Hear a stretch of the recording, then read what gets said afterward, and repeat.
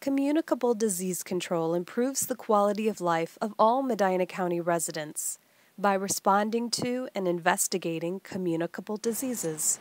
Hello, this is the Medina County Health Department. I'm a registered nurse and I work in the Communicable Disease Department. This public health nurse is conducting a confidential follow up investigation, which includes interviewing persons affected by communicable diseases.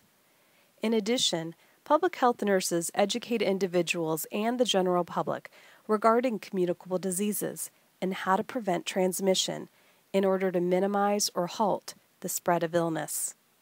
Have you ever wondered what the typical day is like for a communicable disease nurse?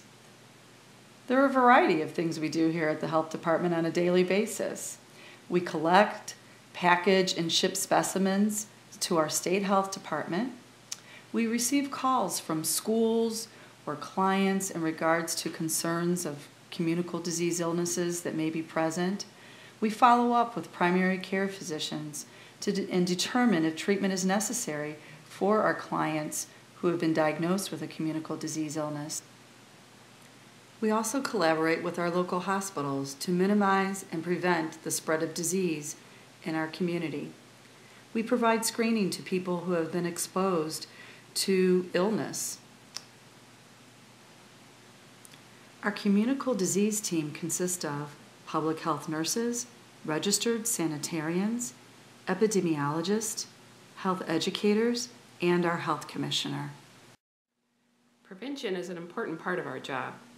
As a health department, we recommend immunizations, screenings for HIV, tuberculosis, and sexually transmitted infections, and as always, hand washing is one of the best ways to decrease the spread of illness. Remember, anyone can report a communicable disease. Call us for more information at 1 888 723 9688.